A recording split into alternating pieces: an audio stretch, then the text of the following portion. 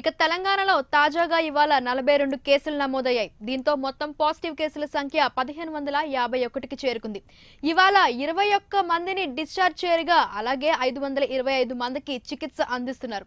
అందులో గ్రేటర్ పరిధిలోనే ముప్పై ఏడు కేసులు నమోదయ్యాయి. వలస కార్మికులు ముగ్గురికి కరోనా సోకగా రంగారెడ్డి జిల్లాలో ఇద్దరికి వైరస్ సోకింది. ఇక దీనిపై మరింత సమాచారం మా ప్రతినిధి ఉజ్జయిని అందిస్తారు.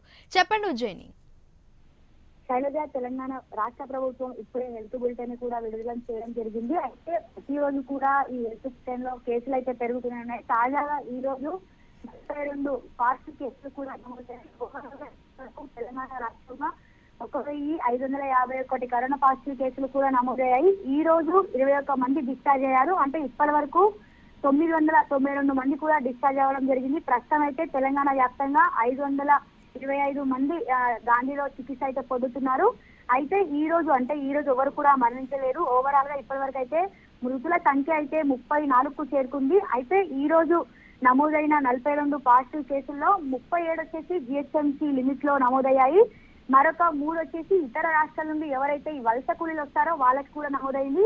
ఇంకా రెండు వచ్చేసి రంగారెడ్డి డిస్టిక్లో నమోదైంది. ఏది ఏమైనా తెలంగాణలో అయితే రోజు రోజుకి కరోనా పే- పాజిటివ్ కేసులు అయితే నమోదవుతున్నాయి. ఒకప్పుడు చూసుకున్నట్టయితే కేవలం ప్రతిరోజు కూడా రెండు మూడు పది ఇలా పది లోపలనే కేసులు నమోదయ్యాయి. కానీ గత వారం నుండి చూసుకున్నట్టయితే తెలంగాణలో భారీగా కేసులు నమోదవుతున్నాయి.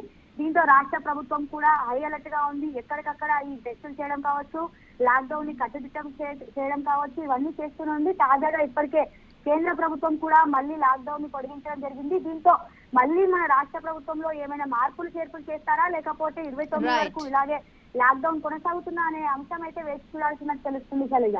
Right thank you Ujjaini